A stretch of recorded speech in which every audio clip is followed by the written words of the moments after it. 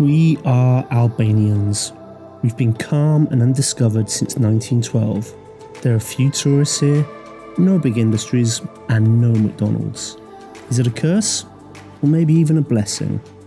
Welcome to our peaceful and uncontaminated wilderness of 39,635 square kilometres.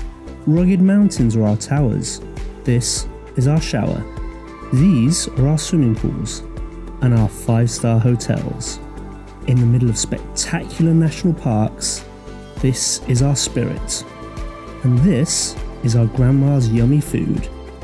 Yes, it's definitely a blessing. And of course, we'd love you to be our guests.